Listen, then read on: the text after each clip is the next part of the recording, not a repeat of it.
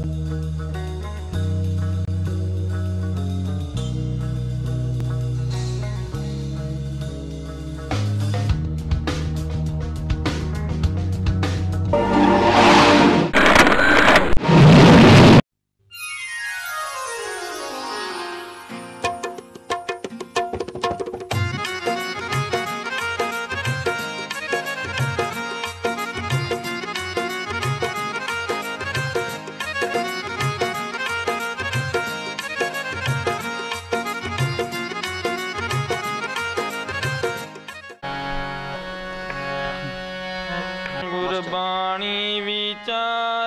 ਵਿਚਾਰ ਸਤਸੰਗ ਗੁਰਬਾਣੀ ਵਿਚਾਰ ਸਤਸੰਗ ਗੁਰਬਾਣੀ ਵਿਚਾਰ ਸਤਸੰਗ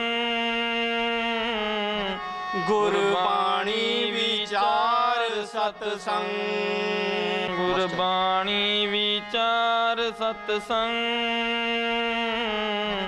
ਗੁਰਬਾਣੀ ਵਿਚਾਰ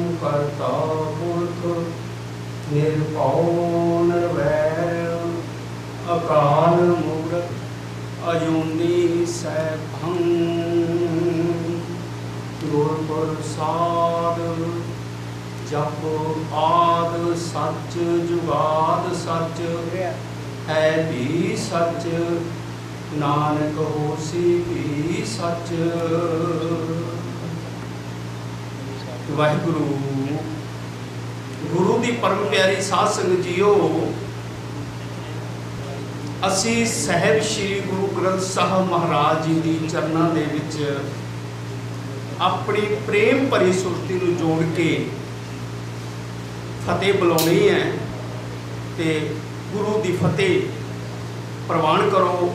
ਵਾਹਿਗੁਰੂ ਜੀ ਕਾ ਖਾਲਸਾ, ਵਾਹਿਗੁਰੂ ਜੀ ਕੀ ਫਤਿਹ।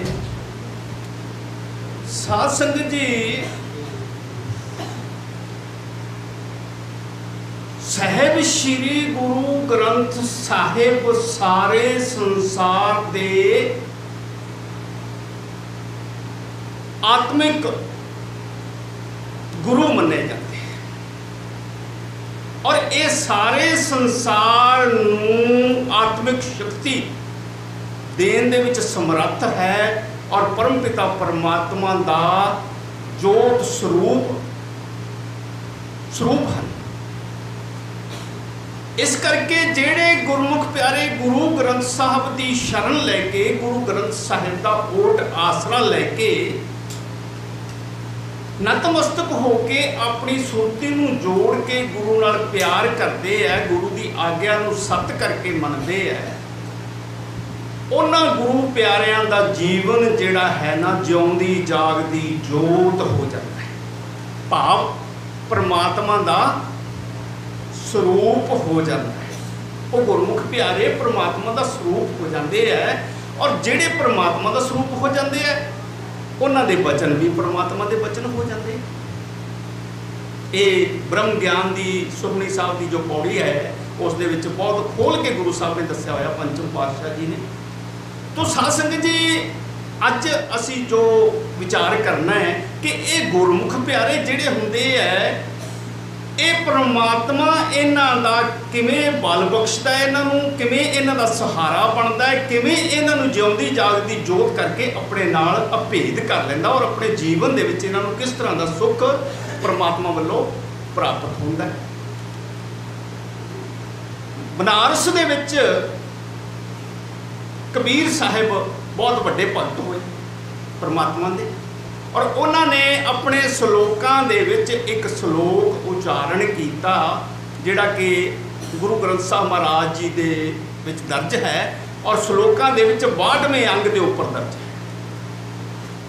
ਕਬੀਰ ਸਾਹਿਬ ਨੇ ਲਿਖਿਆ ਹੈ ਕਿ ਕਬੀਰ, ਹਮ ਨਾ ਕੀਆ, ਨਾ ਕਰੇਗੇ। ਕਬੀਰ, ਹਮ ਨਾ ਕੀਆ, ਨਾ ਕਰਾਂਗੇ, ਨਾ ਕਰ ਸਕੈ ਸਰੀਰ। ਕਿਆ ਜਾਣੈ ਕਿਛ ਪ੍ਰਭ ਕੀਆ? ਭਇਓ ਕਬੀਰ ਕਬੀਰ। ਇਸ ਸ਼ਲੋਕ ਦਾ ਅਰਥ ਹੈ ਕਿ ਇਹ ਮਨੁੱਖ ਜਿਹੜਾ ਹੈ, ਨਾ ਕੁਝ ਕਰਨ ਜੋਗਾ ਹੈ, ਨਾ ਕੁਝ ਕਰਦਾ ਹੈ, ਔਰ ਨਾ ਕੁਝ ਕਰਨ ਜੋਗਾ ਇਹ ਸਰੀਰ ਹੈ। ਤੇ ਕਰਦਾ ਕੌਣ ਹੈ ਸੰਸਾਰ ਦੇ ਵਿੱਚ ਜੋ ਵੀ ਕੋਈ ਕੁਝ ਕਰਦਾ ਨਾ, ਉਹ ਪਰਮਪਿਤਾ ਪਰਮਾਤਮਾ ਹੀ ਕਰਦਾ ਪਰ ਆਪਣੇ ਪਿਆਰਿਆਂ ਨੂੰ ਜਿਹੜੇ ਪਿਆਰ ਨਾਲ ਸ਼ਰਨ ਹੋ ਜਾਂਦੇ ਆ, ਉਹਨਾਂ ਨੂੰ ਉਹ ਮਾਣ ਬਖਸ਼ ਦਿੰਦਾ ਉਹਨਾਂ ਨੂੰ ਉਹ ਜਸ ਬਖਸ਼ ਦਿੰਦਾ ਲੋਕ ਉਹਨਾਂ ਦਾ ਸਤਿਕਾਰ ਕਰਨਾ ਸ਼ੁਰੂ ਕਰ ਦਿੰਦੇ ਬਾਬਾ ਜੀ ਕਹਿ ਕੇ, ਮਹਾਪੁਰਸ਼ ਕਹਿ ਕੇ, ਸੰਤ ਕਹਿ ਕੇ, ਸਾਰੇ ਸੰਸਾਰ ਦੇ ਲੋਕ ਉਹਨਾਂ ਦਾ ਫਿਰ ਸਤਿਕਾਰ ਕਰਨਾ ਸ਼ੁਰੂ ਕਰ ਦਿੰਦੇ ਕਿਉਂ? ਕਿਉਂਕਿ ਪ੍ਰਮਾਤਮਾ ਉਸ ਤੇ ਮਿਹਰਬਾਨ ਹੋ ਚੁੱਕਾ ਹੈ। ਅਗਰ ਕੋਈ ਸੰਸਾਰ ਦੇ ਵਿੱਚੋਂ ਉਹਨਾਂ ਨਾਲ ਦੁਸ਼ਮਣੀ ਵੀ ਕਰਦਾ ਹੈ ਅੜੰਗੇ ਲਾਉਂਦਾ ਹੈ। ਸੱਚ ਦੇ ਰਸਤੇ ਦੇ ਵਿੱਚ ਆ ਕੇ ਵਿਰੋਧ ਪੈਦਾ ਕਰਦਾ ਹੈ ਤੇ ਫਿਰ ਪ੍ਰਮਾਤਮਾ ਜਿਹੜਾ ਆਪਣੇ ਭਗਤ ਦਾ ਸਹਾਈ ਹੁੰਦਾ ਹੈ ਔਰ ਉਹ ਭਗਤ ਦੀ ਹਰ ਗੱਲ ਨੂੰ ਪੂਰਨ ਕਰਦਾ ਪਰਮਾਤਮਾ ਦੀ ਇਹ ਬਖਸ਼ਿਸ਼ ਉਹਨਾਂ ਦੀ ਪ੍ਰਾਪਤ ਹੁੰਦੀ ਹੈ।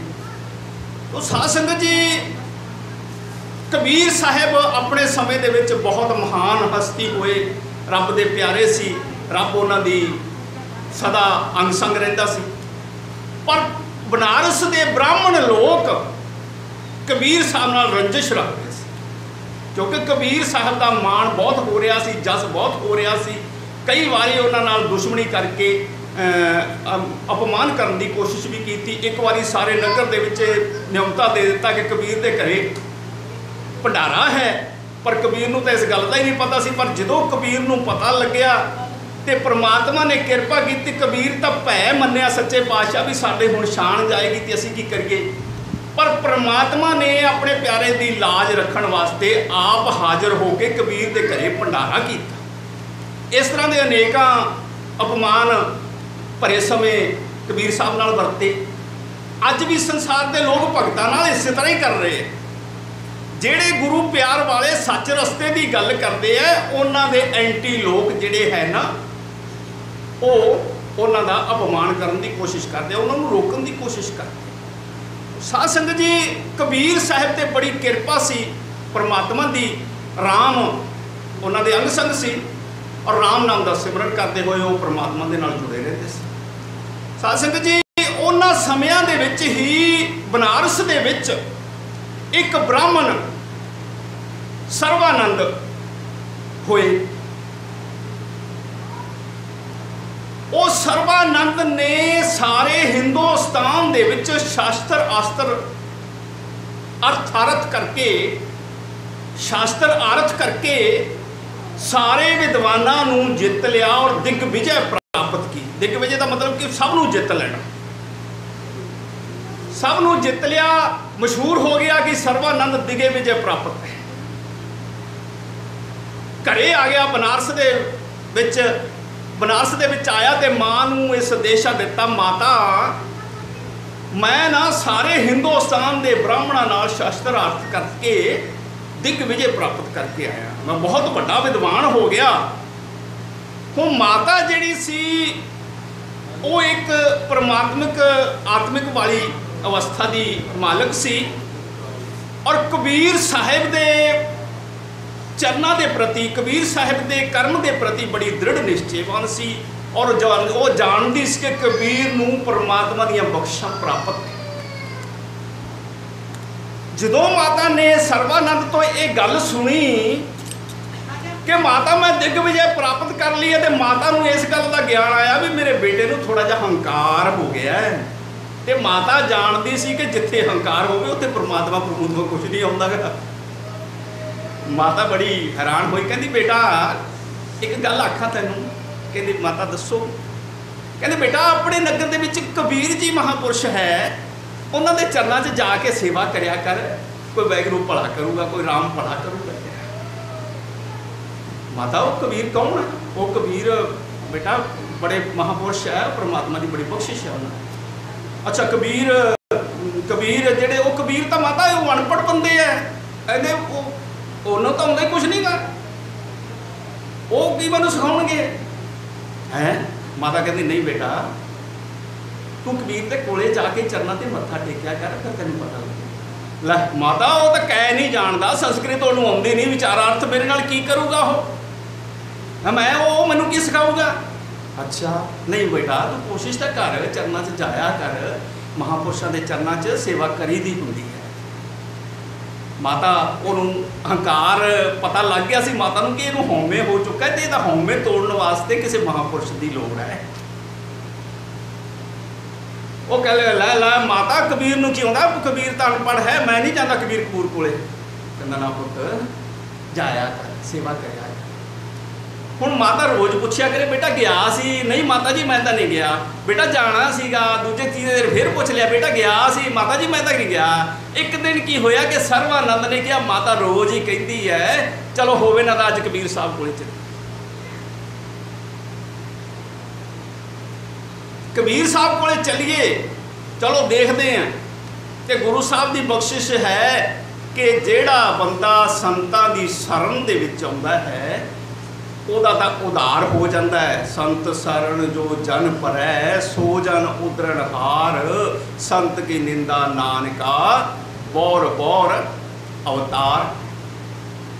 ਹੁਣ ਸਾਧ ਸੰਗਤ ਜੀ, ਉਹ ਸਰਵਾਨੰਦ ਜਿਹੜਾ ਸੀ ਉਸ ਨੂੰ ਇਹ ਅਭਿਮਾਨ ਸੀ ਕਿ ਮੈਂ ਦਿਗਵਿਜੇ ਪ੍ਰਾਪਤ ਵਿਦਵਾਨ ਹਾਂ। ਬਹੁਤ ਗਿਆਤਾ ਹਾਂ ਸ਼ਾਸਤਰਾਂ ਦਾ, ਮੈਂ ਵੇਦਾਂ ਦਾ ਗਿਆਤਾ ਹਾਂ। ਕਬੀਰ ਸਾਹਿਬ ਨੂੰ ਕੀ ਆਉਂਦਾ ਹੈ? ਚਲੋ ਆਪਾਂ ਕਬੀਰ ਸਾਹਿਬ ਕੋਲੇ ਚੱਲਦੇ ਹਾਂ, ਉਹਦੇ ਨਾਲ ਸ਼ਾਸਤਰ ਅਸਤ ਕਰਕੇ 2 ਮਿੰਟਾਂ 'ਚ ਹਰਾ ਦੇਾਂਗੇ ਉਹ ਸਾਧ ਸੰਗਤ ਜੀ, ਕਬੀਰ ਸਾਹਿਬ ਦੇ ਕੋਲੇ ਚਲਾ ਗਿਆ। ਜਿੱਥੇ ਆਸਨ ਸੀ ਕਬੀਰ ਸਾਹਿਬ ਦਾ, ਉਸ ਦਰਬਾਰ ਦੇ ਵਿੱਚ ਬੈਠੇ ਕਬੀਰ ਸਾਹਿਬ। ਨਮਸਕਾਰ ਕੀਤੀ। ਕਬੀਰ ਸਾਹਿਬ ਕਹਿਣ ਲੱਗੇ, ਆਓ ਵਿਪਰ ਜੀ, ਬ੍ਰਾਹਮਣ ਦੇਵਤਾ, ਆਓ ਕੈਸੇ ਦਰਸ਼ਨ ਦਿੱਤੇ ਹੋ?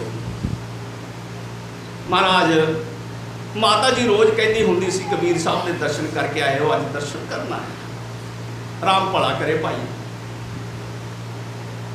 ਹੁਣ ਥੋੜੀ ਦੇਰ ਬਾਅਦ ਜਿਹੜਾ ਅਸਲੀ ਵਿਸ਼ਾ ਸੀ, ਉਹ ਸ਼ੁਰੂ ਕਰ ਦਿੱਤਾ ਸਰਵਾਨੰਦ ਨੇ ਕਿ ਕਬੀਰ ਜੀ, ਮੈਂ ਸਾਰੇ ਹਿੰਦੁਸਤਾਨ ਦੇ ਵਿਦਵਾਨਾਂ ਨੂੰ ਜਿੱਤ ਕੇ ਦਿਗਵਿਜੈ ਪ੍ਰਾਪਤ ਕੀਤੀ ਔਰ ਮੈਂ ਚਾਹੁੰਦਾ ਕਿ ਤੁਸੀਂ ਵੀ ਮੇਰੇ ਨਾਲ ਸ਼ਾਸਤਰ ਕਰੋ। ਕਬੀਰ ਸਾਹਿਬ ਕਹਿਣ ਲੱਗੇ, ਭਾਈ ਅਸੀਂ ਤਾਂ ਅਨਪੜ੍ਹ ਆਦਮੀ ਹਾਂ, ਸਿੱਧੇ ਸਾਦੇ ਭਗਤ ਹਾਂ, ਸੰਸਕ੍ਰਿਤ ਸਾਨੂੰ ਆਉਂਦੀ ਨਹੀਂ, ਅਸੀਂ ਕੀ ਤੇਰੇ ਨਾਲ ਸ਼ਾਸਤਰ ਅਸਤਰ ਕਰਾਂ? ਅਸੀਂ ਨਹੀਂ ਕਰ ਸਕਦੇਗੇ। ਪੰਡਤ ਜੀ, ਠੀਕ ਹੈ, ਸ਼ਾਸਤਰ ਅਸਤਰਾਂ ਦੀ ਕੀ ਲੋੜ ਹੈਗੀ? ਨਹੀਂ ਮਹਾਰਾਜ, ਫਿਰ ਜੇ ਨਹੀਂ ਲੋੜ ਤਾਂ ਤੁਸੀਂ ਮੈਨੂੰ ਲਿਖ ਕੇ ਦੇ ਦਿਓ। ਕਹਿੰਦੇ ਕੀ? ਵੀ ਇਸ ਤਰ੍ਹਾਂ ਲਿਖ ਦਿਓ ਬਈ ਸਰਵਾਨੰਦ ਤੇ ਕਬੀਰ ਜੀ ਦਾ ਸ਼ਾਸਤਰ ਆਰਥ ਹੋਇਆ, ਉਸ ਸ਼ਾਸਤਰ ਆਰਥ ਦੇ ਵਿੱਚ ਕਬੀਰ ਜੀ ਹਾਰ ਗਏ ਤੇ ਸਰਵਾਨੰਦ ਜਿਹੜਾ ਸੀ ਉਹ ਜਿੱਤ ਗਿਆ। ਅੱਛਾ, ਬਸ ਇੰਨਾ ਕੰਮ ਹੀ ਆ। ਲੈ, ਆਪਾਂ ਹੁਣ ਲਿਖ ਦਿੰਨੇ ਆ। ਕਹਿੰਦੇ ਲਿਖ ਦਿਓ ਜੀ ਫਿਰ। ਉਹਨੇ ਉਹ ਕਾਪੀ ਫੜ ਕੇ ਅੱਗੇ ਕਰ ਦਿੱਤਾ ਪੇਪਰ ਤੇ ਕਾਗਜ਼, ਪੈਨ। ਕਬੀਰ ਸਾਹਿਬ ਕਹਿਣ ਲੱਗੇ, ਭਾਈ ਅਸੀਂ ਤਾਂ ਅਨਪੜ੍ਹ ਬੰਦੇ ਆ। ਸਾਨੂੰ ਤਾਂ ਕੁਝ ਲਿਖਣਾ ਨਹੀਂ ਆਉਂਦਾਗਾ, ਤੁਸੀਂ ਆਪ ਹੀ ਲਿਖ ਲਓ, ਅਸੀਂ ਗੂਠਾ ਲਾ ਦੇਾਂਗੇ ਅਸੀਂ ਤਾਂ ਗੂਠਾ ਟੇਕ ਆ। ਅਸੀਂ ਗੂਠਾ ਲਾ ਦੇਾਂਗੇ ਅੱਛਾ ਜੀ, ਚੰਗਾ ਮਹਾਰਾਜ, ਉਹ ਸਰਵਾਨੰਦ ਨੇ ਆਪਣੇ ਹੱਥਾਂ ਨਾਲ ਇਹ ਲਿਖ ਲਿਆ ਕਿ ਕਬੀਰ ਸਾਹਿਬ ਦਾ ਤੇ ਸਰਵਾਨੰਦ ਦਾ ਸ਼ਾਸਤਰ ਅਰਥ ਹੋਇਆ, ਜਿਸ ਦੇ ਵਿੱਚ ਕਬੀਰ ਸਾਹਿਬ ਹਾਰ ਗਏ ਔਰ ਸਰਵਾਨੰਦ ਜਿੱਤ ਗਿਆ। ਵਿਜੇ ਪ੍ਰਾਪਤ ਕੀਤੀ ਔਰ ਕਬੀਰ ਸਾਹਿਬ ਤੋਂ ਗੂਠਾ ਲਵਾ ਲਿਆ। ਗੂਠਾ ਲਾ ਦਿੱਤਾ ਕਬੀਰ ਸਾਹਿਬ ਨੇ ਬੜਾ ਖੁਸ਼ ਹੋਇਆ। ਮੈਂ ਕਬੀਰ ਸਾਹਿਬ ਨੂੰ ਵੀ ਹਰਾਤਾ। ਮੈਂ ਦਿਗਵਿਜੇ ਪ੍ਰਾਪਤ ਕੀਤੀ। ਸਾਰੇ ਹਿੰਦੁਸਤਾਨ ਦੇ ਬ੍ਰਾਹਮਣਾਂ ਨੂੰ ਹਰਾਇਆ ਸੀ। ਕਬੀਰ ਸਾਹਿਬ ਨੂੰ ਵੀ ਹਰਾਤਾ। ਮਾਤਾ ਕਹਿੰਦੀ ਸੀ, ਕਬੀਰ ਸਾਹਿਬ, ਪਰਮਾਤਮਾ ਦੀ ਕਿਰਪਾ ਪ੍ਰਾਪਤ ਵਾਹਿਗੁਰੂ ਵਾਹਿਗੁਰੂ। ਸਾਧ ਸੰਗਤ ਜੀ ਖੁਸ਼ ਆਪਣੇ ਘਰ ਆ ਗਿਆ ਹੈ। ਸਰਵਾਨੰਦ ਬ੍ਰਾਹਮਣ ਔਰ ਮਾਤਾ ਜੀ ਨੂੰ ਬੜਾ ਖੁਸ਼ੀ ਦੇ ਨਾਲ, ਮਾਤਾ ਜੀ ਦੇਖ ਮੈਂ ਕੀ ਲੈ ਕੇ ਆਇਆ, ਮਾਤਾ ਜੀ ਮੈਂ ਕੀ ਲੈ ਕੇ ਆਇਆ? ਕਹਿੰਦੇ, ਕੀ ਲੈ ਕੇ ਆਏ ਬੇਟਾ? ਮਾਤਾ ਜੀ, ਮੈਂ ਕਬੀਰ ਸਾਹਿਬ ਤੋਂ ਇਹ ਲਿਖਵਾ ਲਿਆ ਵੀ ਕਬੀਰ ਸਾਹਿਬ ਹਾਰ ਗਿਆ ਔਰ ਸਰਵਾਨੰਦ ਜਿੱਤ ਗਿਆ। ਕਹਿੰਦੇ, ਹੈ ਬੇਟਾ? ਹਾਂ ਮਾਤਾ ਜੀ ਆ ਦੇਖ ਲਾ, ਮੇਰੇ ਕੋਲ ਕਾਗਜ਼ ਹੈ। ਕਹਿੰਦੇ, ਬੇਟਾ, ਖੋਲ ਕੇ ਦਿਖਾ, ਤੁਸੀਂ ਪੜ੍ਹ ਕੇ ਦੱਸਣਾ, ਕੀ ਲਿਖਿਆ ਹੈ?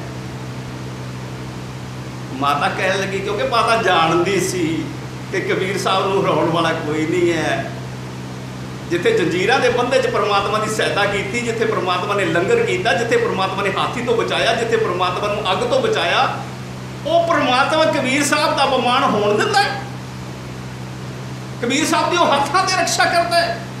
ਬੇਟਾ, ਕੀ ਲਿਖਿਆ? ਪੜ੍ਹ ਕੇ ਤਾਂ ਸੁਣਾ ਦੇ ਮੈਨੂੰ। ਫਟਾਫਟ ਕਾਗਜ਼ ਖੋਲਿਆ ਬੜੀ ਖੁਸ਼ੀ ਨਾਲ ਪੜਨ ਲੱਗਿਆ। ਕਬੀਰ ਸਾਹਿਬ ਤੇ ਸਰਵਾਨੰਦ ਦਾ ਵਿਚਾਰ ਆਰਥ ਹੋਇਆ, ਸ਼ਾਸਤਰ ਆਰਥ ਹੋਇਆ। ਜਿਹਦੇ ਵਿੱਚ ਸਰਬਾਨੰਦ ਹਾਰ ਗਿਆ ਤੇ ਕਬੀਰ ਸਾਹਿਬ ਜਿੱਤ ਗਿਆ। ਹੈ? ਜਦੋਂ ਇਹ ਪੜ੍ਹਿਆ ਨਾ ਕਬੀਰ ਸਾਹਿਬ ਜਿੱਤ ਗਿਆ, ਹੈ? ਇਹ ਕੀ ਇੱਥੇ ਤਾਂ ਮੈਂ ਤਾਂ ਆਪਦੇ ਹੱਥਾਂ ਨਾਲ ਇਹ ਲਿਖਿਆ ਸੀ ਕਿ ਕਬੀਰ ਸਾਹਿਬ ਹਾਰ ਗਿਆ ਸਰਵਾਨੰਦ ਜਿੱਤ ਗਿਆ। ਇਹ ਪਾਸਾ ਕਿਵੇਂ ਪਲਟ ਗਿਆ? ਸਾਧ ਸੰਗਤ ਜੀ, ਮਾਂ ਨੂੰ ਪਤਾ ਸੀ, ਬੇਟਾ ਕੀ ਲਿਖਿਆ ਕੀ ਗੱਲ ਹੋ ਗਈ ਪੁੱਤਰ? ਮਾਂ ਜਾਣਦੀ ਸੀ। ਕਬੀਰ ਤੇ ਬਹਿਰੂ ਦੀ ਕਿਰਪਾ ਹੈ, ਰਾਮ ਦੀ ਕਿਰਪਾ ਹੈ। ਮਾਤਾ ਜੀ ਕੋ ਗਲਤੀ ਹੋ ਗਈ ਹੈ। ਕੀ ਗੱਲ ਪੁੱਤਰ? ਕਹਿੰਦੇ ਮਾਤਾ ਜੀ, ਮੈਂ ਆਪਦੇ ਹੱਥਾਂ ਨਾਲ ਲਿਖਿਆ ਸੀ ਵੀ ਕਬੀਰ ਸਾਹਿਬ ਹਾਰ ਗਏ, ਇੱਥੇ ਲਿਖਿਆ ਪਿਆ ਕਬੀਰ ਸਾਹਿਬ ਜਿੱਤ ਗਏ। ਅੰਗੂਠਾ ਵੀ ਲੱਗਿਆ ਕਬੀਰ ਸਾਹਿਬ ਦਾ। ਅੱਛਾ। ਨਹੀਂ ਮਾਤਾ ਜੀ, ਇਹ ਗਲਤੀ ਹੋ ਗਈ, ਕਿਤੇ ਕੋ ਭੁਲੇਖਾ ਲੱਗ ਗਿਆ, ਮੈਂ ਹੁਣ ਫਿਰ ਜਾਊਂਗਾ, ਦੂਜੇ ਦਿਨ ਫਿਰ ਚਲਾ ਗਿਆ। ਸਰਵਾਨੰਦ ਸਰਵਾਨੰਦ ਚਲਾ ਗਿਆ। ਕਬੀਰ ਸਾਹਿਬ ਕਹਿਣ ਲੱਗੇ, ਆਓ ਬ੍ਰਾਹਮਣ ਦੇਵਤਾ, ਕਿਵੇਂ ਦਰਸ਼ਨ ਦਿੱਤੇ ਮਹਾਰਾਜ ਬਸ ਕੋਈ ਗਲਤੀ ਹੋ ਗਈ ਕੱਲ ਕਹਿੰਦੇ, ਦੱਸੋ ਕਿ ਲਿਖਣਾ ਸੀਗਾ, ਕਬੀਰ ਸਾਹਿਬ ਹਾਰ ਗਏ। ਸਰਵਾਨੰਦ ਜਿੱਤ ਗਏ, ਮੈਂ ਇਹੀ ਲਿਖਿਆ ਸੀ, ਪਰ ਕੋਈ ਗਲਤੀ ਹੋ ਗਈ, ਸ਼ਾਇਦ ਲਿਖਣ ਚ ਭੁੱਲ ਹੋ ਗਈ। ਕਬੀਰ ਸਾਹਿਬ ਕਹਿੰਦੇ, ਭਾਈ ਜੇ ਲਿਖਿਆ, ਨਹੀਂ ਲਿਖਿਆ ਗਿਆ ਤਾਂ ਫੇਰ ਲਿਖ ਲੈ। ਸਰਵਾਨੰਦ ਨੇ ਕੀ ਕਰਿਆ? ਕਬੀਰ ਸਾਹਿਬ ਦੇ ਸਾਹਮਣੇ ਫੇਰ ਕਾਗਜ਼ ਦੇ ਉੱਤੇ, ਦੂਜੇ ਦੇ ਉੱਤੇ ਲਿਖਿਆ ਕਿ ਕਬੀਰ ਸਾਹਿਬ ਤੇ ਸਰਵਾਨੰਦ ਦੀ ਸ਼ਾਸਤਰ ਆਰਥ ਹੋਈ, ਜਿਹਦੇ ਵਿੱਚ ਕਬੀਰ ਸਾਹਿਬ ਹਾਰ ਗਏ ਸਰਵਾਨੰਦ ਜਿੱਤ ਗਿਆ। ਫਿਰ ਲਿਖਿਆ, ਕਹਿਣ ਲੱਗੇ ਜੀ ਮਹਾਰਾਜ ਜੀ, ਗੂਠਾ ਲਾ ਦਿਓ। ਕਹਿਣ ਲੱਗੇ, ਕਬੀਰ ਸਾਹਿਬ ਕਹਿਣ ਲੱਗੇ, ਲੈ ਭਾਈ ਆ ਲਾ ਦਿੱਤਾ। ਠੀਕ ਹੈ? ਹੁਣ ਤਾਂ ਖੁਸ਼ ਹੈ? ਹਾਂਜੀ, ਹੁਣ ਖੁਸ਼ ਹੈ। ਵੇਖ ਲੈ, ਸਹੀ ਲਿਖਿਆ। ਮਹਾਰਾਜ, ਹੁਣ ਤਾਂ ਹਾਂ, ਸਹੀ ਲਿਖਿਆ ਸਹੀ ਲਿਖਿਆ। ਠੀਕ ਹੈ ਠੀਕ ਹੈ। ਠੀਕ ਹੈ। ਖੁਸ਼ ਹੋਇਆ, ਆਇਆ। ਆਇਆ। ਘਰੇ ਆ ਗਿਆ। ਮਾਤਾ ਨੂੰ ਬੜੀ ਖੁਸ਼ੀ ਖੁਸ਼ੀ। ਮਾਤਾ, ਅੱਜ ਮੈਂ ਲੈ ਕੇ ਆਇਆ, ਲੈ ਕੇ ਲੈ ਕੇ ਆਇਆ। ਸਹੀ ਕੱਲ ਤੱਕ ਤੇ ਗਲਤੀ ਹੋ ਗਈ, ਭੁਲੇਖਾ ਲੱਗ ਗਿਆ। ਅੱਛਾ। ਬੇਟਾ, ਹੁਣ ਮਾਤਾ ਫੇਰ ਜਾਣਦੀ ਸੀ। ਵੀ ਹਾਲੇ ਜੇ ਇਸ ਦਾ ਹੰਕਾਰ ਜਿਹੜਾ ਹੈ ਨਾ, ਉਵੇਂ ਦਾ ਉਵੇਂ ਬਣਿਆ ਹੋਇਆ ਹੈ। ਆਪਣੇ ਆਪ ਨੂੰ ਬੜਾ ਵੱਡਾ ਭਗਤ ਦੱਸੀ ਜਾਂਦਾ, ਬੜਾ ਵੱਡਾ ਵਿਦਵਾਨ ਦੱਸਦਾ, ਇਹਦਾ ਹੰਕਾਰ ਨਹੀਂ ਟੁੱਟਿਆ ਹਾਲੇ। ਤੇ ਮਾਤਾ ਜਾਣਦੀ ਸੀ ਕਿ ਹਾਲੇ ਇਹ ਜਿਹੜੀ ਕਹਾਣੀ ਹੈ ਨਾ, ਉਹ ਬਾਕੀ ਹੈ। ਮਾਤਾ ਕਹਿਣ ਲੱਗੀ, ਸੁਣਾ ਤਾਂ ਸਹੀ ਬੇਟਾ। ਸਰਵਾਨੰਦ ਨੇ ਉਹੀ ਪਰਚਾ ਉਸੇ ਤਰ੍ਹਾਂ ਖੋਲਿਆ ਤੇ ਖੋਲਿਆ ਤੇ ਕੀ ਵੇਖਦਾ ਹੈ? ਉੱਤੇ ਲਿਖਿਆ ਹੋਇਆ ਹੈ ਕਬੀਰ ਸਾਹਿਬ ਤੇ ਸਰਵਾਨੰਦ ਦਾ ਸ਼ਾਸਤਰ ਆਰਥ ਹੋਇਆ। ਜਿਹਦੇ ਵਿੱਚ ਕਬੀਰ ਸਾਹਿਬ ਜਿੱਤ ਗਏ ਸਰਵਾਨੰਦ ਹਾਰ ਗਿਆ। ਫੇਰ ਉਹ ਕੀ ਹੈ? ਹੈ? ਉਹਨੂੰ ਚੰਬਾ ਹੋ ਗਿਆ, ਹੈ? ਇਹ ਕੀ ਗੱਲ ਹੋ ਗਈ ਹੈ? ਦੂਜੀ ਵਾਰੀ ਫਿਰ ਉਹੀ ਗੱਲ ਲਿਖੀ ਹੋਈ ਹੈ। ਥੱਲੇ ਸੈਂਡ ਵੀ ਹੈ ਕਬੀਰ ਸਾਹਿਬ ਦੇ, ਉਹ ਕਾਗਜ਼ ਆ ਹੈ, ਉਹ ਕਾਗਜ਼ ਆ ਹੈ। ਇਹ ਕੀ ਗੱਲ ਹੋ ਗਈ ਹੈ? ਬੜਾ ਹੈਰਾਨ ਹੋਇਆ। ਬੜਾ ਚੱਪਾ ਰੋਣ ਲੱਗ ਗਿਆ। ਮਾਤਾ, ਮੈਂ ਕਿ ਮੈਂ ਤਾਂ ਮੈਂ ਤਾਂ ਜਿੱਤੇ ਦਾ ਕਾਗਜ਼ ਲਿਖਿਆ ਸੀ। ਕਾਗਜ਼ ਕਾਰਨ ਕੀ ਹੈ? ਹੁਣ ਮਾਤਾ ਨੂੰ ਪਤਾ ਲੱਗ ਗਿਆ, ਮਾਤਾ ਨੂੰ ਸਮਝ ਆ ਗਈ ਵੀ ਇਹਦਾ ਹੰਕਾਰ ਹਾਲੇ ਨਹੀਂ ਟੁੱਟਿਆ। ਇਹਨੂੰ ਲੋੜ ਹੈ ਗੁਰੂ ਮਤ ਦੀ। ਇਹਨੂੰ ਲੋੜ ਹੈ RAM ਨਾਮ ਦੀ। ਸ਼ਾਸਤਰ ਆਸਤਰ ਪੜੇ ਜਿਹੜੇ ਆ, ਉਹ ਅਰਥ ਨਹੀਂ ਕੰਮ ਕਰਦੇ। ਗੁਰੂ ਸਾਹਿਬ ਕਹਿੰਦੇ ਆ ਪੜ ਪੜ ਗੱਡੇ ਲੱਦੀਏ ਪੜ ਪੜ ਭਰੀਏ ਖਾਤ। ਗੁਰੂ ਸਾਹਿਬ ਕਹਿੰਦੇ ਆ, ਇਹ ਤਾਂ ਖਾਤੇ 'ਚ ਭਰਨ ਵਾਲੀ ਗੱਲ ਹੁੰਦੀ ਆ ਪੜ ਪੜ ਕੇ ਪੜੀ ਜਾਣਾ ਪੜੀ ਜਾਣਾ ਉਹ ਖਾਤੇ 'ਚ ਟੋਆ ਭਰੀ ਜਾਣਾ ਭਰੀ ਜਾਣਾ, ਬਸ। ਪੜੀਏ ਜੇਤੇ ਬਰਸ ਬਰਸ ਪੜੀਏ ਜੇਤੇ ਸਾਲ, ਜਿੰਨੇ ਬਰਸ ਮਰਜ਼ੀ ਪੜ ਲਓ, ਸਾਰੀ ਉਮਰ ਪੜ ਲਓ ਪੜਿਆ ਕੁਛ ਨਹੀਂ ਬਣਨਾਗਾ। ਬਣਨਾ ਕੀ ਹੈ ਜਦੋਂ ਅਸੀਂ ਗੁਰੂ ਸਾਹਿਬ ਦੀ ਸ਼ਰਨ ਦੇ ਵਿੱਚ ਪਿਆਰ ਕਰਕੇ ਗੁਰੂ ਨਾਲ ਪ੍ਰੀਤ ਕਰਕੇ ਸੁਰਤੀ ਨੂੰ ਜੋੜ ਕੇ, ਔਰ ਜੋ ਅਸੀਂ ਪੜ ਰਹੇ ਹਾਂ ਗੁਰਬਾਣੀ, ਉਸ ਨੂੰ ਸਤ ਕਰਕੇ ਮੰਨਾਂਗੇ ਜਦੋਂ। ਗੁਰਸਿੱਖੋ, ਉਹਨਾਂ ਦਾ ਗਾਵਿਆ, ਸੁਣਿਆ ਥਾਏ ਪਵੇਗਾ। ਦੂਜੇ ਦਾ ਕਿਸੇ ਦਾ ਨਹੀਂ। ਪੜਨ ਵਾਲੇ ਦਾ ਪੜਨ ਵਾਲੇ ਤਾਂ ਬਥੇਰੇ ਗੁਰੂ ਸਾਹਿਬ ਕਹਿੰਦੇ ਆ ਕਿ ਗੁਰੂ ਸਾਹਿਬ ਕਹਿੰਦੇ ਆ ਪੜਿਆ ਹੋਵੇ ਗੁਨਾਹਗਾਰ, ਓਮੀ ਸਾਧ ਨਾ ਮਾਰੀਏ ਕਹਿੰਦੇ ਪੜਿਆ ਕੋਈ ਹੋਵੇ ਨਾ, ਬਹੁਤ ਵੱਡਾ ਗਿਆਤਾ ਹੋਵੇ, ਡਿਗਰੀਆਂ ਵੀ ਪ੍ਰਾਪਤ ਕੀਤੀਆਂ ਹੋਣ ਤੇ ਉਹਦੇ ਬਰਾਬਰ ਕੋਈ ਬਹੁਤ ਗੁਣਾ ਵਾਲਾ ਬੰਦਾ, ਪ੍ਰਮਾਤਮਾ ਦਾ ਪਿਆਰਾ ਉਹ ਗੱਲ ਕਰੇ ਤੇ ਉਹਦੀ ਗੱਲ ਪੜਨ ਵਾਲੇ ਦੀ ਗੁਨਾਹਗਾਰ ਉਹ ਗਲਤ ਹੋ ਸਕਦੀ ਹੈ, ਪਰ ਜਿਹੜਾ ਪ੍ਰਮਾਤਮਾ ਦਾ ਹੈ, ਉਹਦੀ ਗੱਲ ਗੱਲ ਜਿਹੜੀ ਆ, ਉਹ 100% ਸਹੀ ਹੋਵੇਗੀ। ਓਮੀ ਓਮੀ ਮਤਲਬ ਭਾਵ ਪ੍ਰਮਾਤਮਾ ਨਾਲ ਜੁੜਿਆ ਹੋਇਆ ਸੰਤ ਪੁਰਸ਼ ਉਹਨੂੰ ਐਵੇਂ ਨਾ ਮਾਰ ਦਿਓ ਵੀ ਇਹਨੂੰ ਆਉਂਦਾ ਕੁਛ ਨਹੀਂਗਾ ਤੇ ਇਸ ਕਰਕੇ ਗੁਰੂ ਸਾਹਿਬ ਸਾਨੂੰ ਬਖਸ਼ਿਸ਼ ਕਰਦੇ ਆ, ਭਾਈ ਪੜੇ ਦੀ ਗੱਲ ਨਹੀਂ ਹੈ, ਗੱਲ ਹੈ ਗੁਣੇ ਦੀ। ਜਿਸ ਨੇ ਗੁਣ ਨੂੰ ਧਾਰਨ ਕਰ ਲਿਆ ਜਿਸ ਨੇ ਗੁਣ ਨੂੰ ਪ੍ਰਾਪਤ ਕਰ ਲਿਆ ਉਹ ਪ੍ਰਮਾਤਮਾ ਦੀਆਂ ਬਖਸ਼ਾਂ ਨੂੰ ਪ੍ਰਾਪਤ ਹੋ ਗਿਆ, ਉਹ ਪ੍ਰਮਾਤਮਾ ਤੋਂ ਸੁੱਖਾਂ ਨੂੰ, ਖੁਸ਼ੀਆਂ ਨੂੰ ਪ੍ਰਾਪਤ ਕਰ ਲੈਂਦਾ ਔਰ ਉਹ ਪ੍ਰਮਾਤਮਾ ਉਸ ਦੇ ਸਦਾ ਅੰਗ ਸੰਗ ਰਹਿੰਦਾ। ਇਹ ਗੁਰੂ ਸਾਹਿਬ ਬਖਸ਼ਿਸ਼ ਕਰਦੇ। ਹੁਣ ਮਾਤਾ ਨੇ ਕੀ ਕਰਿਆ ਵੀ ਇਸ ਬੰਦੇ ਨੇ, ਮੇਰੇ ਲੜਕੇ ਨੇ ਕਬੀਰ ਸਾਹਿਬ ਦਾ ਜਿਹੜੇ ਕਿ ਮਹਾਪੁਰਸ਼ ਹੈ, ਪ੍ਰਮਾਤਮਾ ਨਾਲ ਜੁੜੇ ਹੋਏ ਆ, ਦੋ ਵਾਰ ਅਵਗਿਆ ਕੀਤੀ। ਔਰ ਕਬੀਰ ਸਾਹਿਬ ਮਹਾਪੁਰਸ਼ ਆ ਉਹਨਾਂ ਨੇ ਫਿਰ ਵੀ ਜਨ ਲਿਆ, ਸੀਤਲ ਮਨ ਵਾਲੇ ਆ ਔਰ ਉਹਨਾਂ ਨੇ ਕੋਈ ਰੋਸ ਨਹੀਂ ਕੀਤਾ। ਪਰ ਹੁਣ ਜੇ ਕਿਤੇ ਇਹ ਫੇਰ ਕਿਤੇ ਚਲਾ ਗਿਆ ਤਾਂ ਕਿਤੇ ਕਬੀਰ ਸਾਹਿਬ ਮੇਰੇ ਲੜਕੇ ਨੂੰ ਸ਼ਰਾਪ ਨਾ ਦੇ ਦੇਣ। ਉਹਨੇ ਮਾਤਾ ਨੇ ਉਸ ਸਰਵਾਨੰਦ ਦਾ ਕੰਨ ਫੜਿਆ। ਕੰਨ ਫੜ ਕੇ ਤੇ ਪਿੱਛੇ ਮਾਰੇ, ਥਾਪੀ, ਚੱਲ ਚੱਲ ਤੈਨੂੰ ਮੈਂ ਕਬੀਰ ਸਾਹਿਬ ਕੋਲੇ ਛੱਡ ਕੇ ਆਉਂਗਾ ਹੁਣ ਉਹ ਬੋਲਣ ਜੋਗਾ ਹੈ ਨਹੀਂ ਸੀ, ਮਾਤਾ ਜਿਵੇਂ ਕਰੀ ਗਈ। ਉਹਨੇ ਬਾਹ ਫੜ ਕੇ ਮਾਤਾ ਜਿਹੜੀ ਆ ਕਬੀਰ ਸਾਹਿਬ ਦੇ ਚਰਨਾਂ ਚਲੇ ਜਾ ਕੇ ਤੇ ਬਾਹ ਵਗਾ ਕੇ ਮਰਿਆ। ਮੱਥਾ ਟੇਕ ਇੱਥੇ ਮੱਥਾ। ਆ ਕੇ ਮੱਥਾ ਟੇਕਿਆ। ਕਬੀਰ ਸਾਹਿਬ ਬੋਲੇ ਹੱਸੇ, ਮਾਤਾ ਜੀ ਕਿਵੇਂ ਮਾਤਾ ਕਿਉਂਕਿ ਕਬੀਰ ਸਾਹਿਬ ਦੀ ਪ੍ਰੇਮਣ ਸੀ। ਕਬੀਰ ਸਾਹਿਬ ਦੀ ਸਤਕਾਰ ਕਰਦੀ ਸੀ, ਕਬੀਰ ਸਾਹਿਬ ਨੂੰ ਜਾਣਦੀ ਸੀ ਕਿ ਇਹ ਪ੍ਰਮਾਤਮਾ ਦੇ ਪਿਆਰੇ ਹੈ, ਬੜਾ ਸਤਕਾਰ ਕਰਦੀ ਸੀ।